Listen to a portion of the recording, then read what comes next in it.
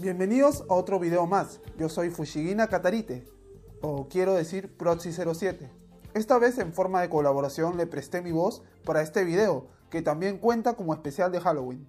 Solo espero que se haya terminado a tiempo.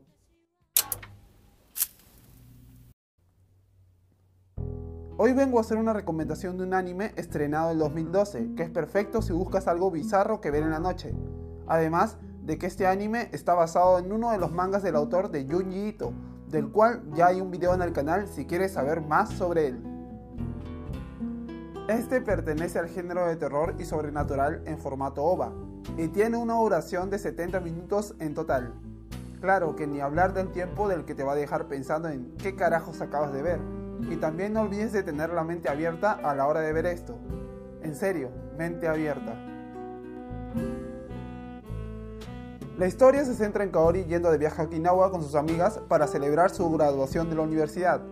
Lo que pensaban sería una simple fiesta entre amigas se convirtió en una pesadilla debido al ataque de pescados con patas mecánicas.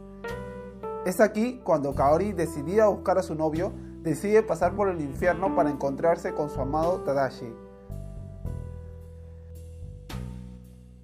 Pero llega el momento en el que las máquinas con patas dejan los cuerpos de los peces y los empiezan a reemplazar con cuerpos humanos, además de que el tío de Tadashi resulta tener relación con lo que está sucediendo en Japón.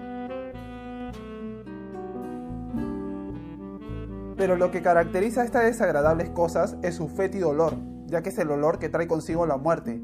Lo describen como algo intratable y nauseabundo. Es una de las cosas que pone énfasis la obra, llegando al punto de convertirse en una entidad maligna. Básicamente la trama nos propone que no importa qué suceda en el mundo, siempre hay tiempo para pensar en el amor, aunque a veces no termine tan bien como uno pensaría. La obra cuenta con una buena animación, no es nada fuera de lo común, pero sin duda es lo suficiente para impactar. Es muy recomendable que lees el manga si tienes oportunidad antes de ver la adaptación de anime, ya que puedes disfrutar la historia, además de que al final el anime se queda con un final diferente al del manga, habiendo varias diferencias en la trama. Así que para concluir, si no te gustan los pescados y odias el olor a ceviche, pero deseas pasarte un rato perturbado, ve este anime y recuerda que si quieres un video de algún tema, no se te olvide dejarlo en la caja de comentarios.